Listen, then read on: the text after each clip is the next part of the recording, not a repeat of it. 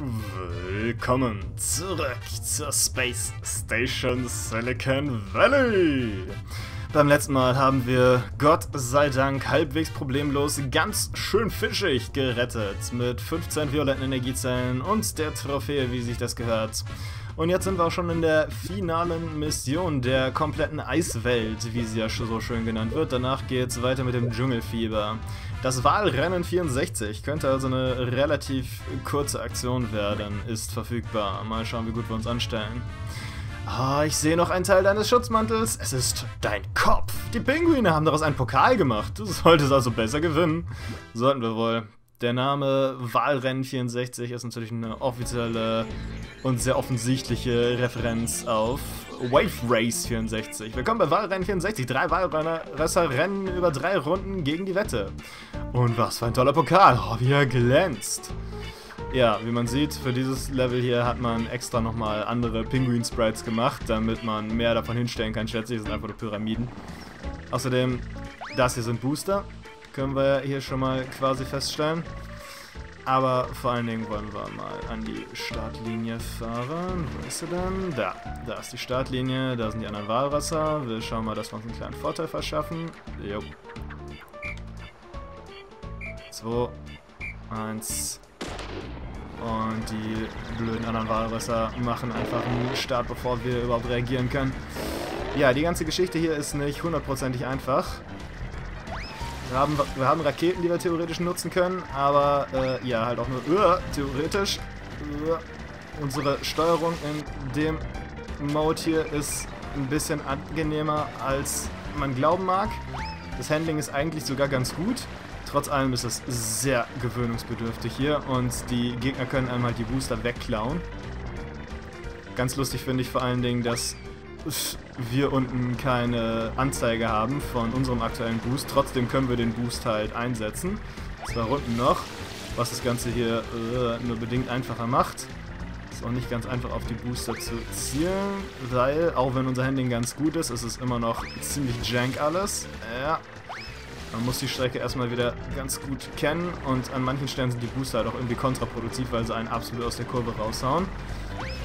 Momentan sieht es aber so aus, als ob wir die anderen ganz gut abgehängt hätten. Ja, nehmen wir uns mal hier ein bisschen Boost. Sieht gut aus. Da, hier die ganz enge Kurve. Wunderbar. Da vorne der Booster, der haut einen eh nur in die Wand rein. Wunderbar. Letzte Runde. Da oben die Schilder wollen uns irgendwas sagen. Aber wer weiß was. Was da hängen bleiben, war natürlich nicht so gut. Schauen wir mal, dass wir weiterkommen. Jo. Oh, das sah schön aus. Ah, den hätte ich gerne gekriegt, haben wir aber nicht. Ist vielleicht auch besser gewesen, weil so können wir die Kurve hier ordentlich nehmen. Den hätte ich aber gerne. Ja. Bonk. Da kommen wir nämlich ordentlich schneller voran mit. Das war nicht so gut. Passt hoffentlich. Okay. Hi, wir haben den Booster dann mal in einer sinnvollen Art genommen. Das ist mir auch noch nie passiert. Und geschafft. Du bist der Sieger. Die Pyramidenpinguine sind nun unsere Fans. Hier ist der Pokal. Das sieht nicht so ganz aus wie unser Kopf. Das ist im wahrsten Sinne des Wortes ein Pokalpokal. -Pokal. Nicht unser Kopf. Hier ist die Bestzeit. Ja, und die einzige Zeit vor allen Dingen. Teleporter aktiv. Wunderbar, wir haben die Trophäe erhalten. Na, seid ihr neidisch? Seid ihr neidisch? Seid ihr neidisch? Hier, fresst meine Raketen. Ja, hahaha. Ja, hahaha, der Sieger hat das Recht, die Verlierer mit Raketen zu bombardieren. Ich weiß gar nicht, warum wir überhaupt die Fähigkeit haben, Raketen zu schießen. Ich glaube ja, das ist ursprünglich nicht unbedingt so gewollt gewesen, weil wenn man unser Walross anguckt und deren Walross anguckt, die Raketen sind eigentlich überhaupt nicht angezeigt. Und wir können die auch nicht töten, wie man sieht. Ansonsten werden die halt durch die Raketen schon krepiert. Wie gesagt, die Anzeige ist nicht da, die Raketen tauchen nicht auf, die Raketen machen keinen Schaden. Das ist alles ein bisschen weird. Das Rennen macht auch so ein bisschen den Eindruck, als sollte man hier noch nicht mal diesen A-Antrieb wirklich benutzen können, aber man kann es trotzdem. Obwohl die Anzeige nicht da ist. Ja. Party der 3D-Pinguine, äh, 3D, ja, 3D sind sie auch, aber die Party der dreieckigen Pinguine. Jo, wir haben den Pokal, also auf ins Ziel. Du, du, du.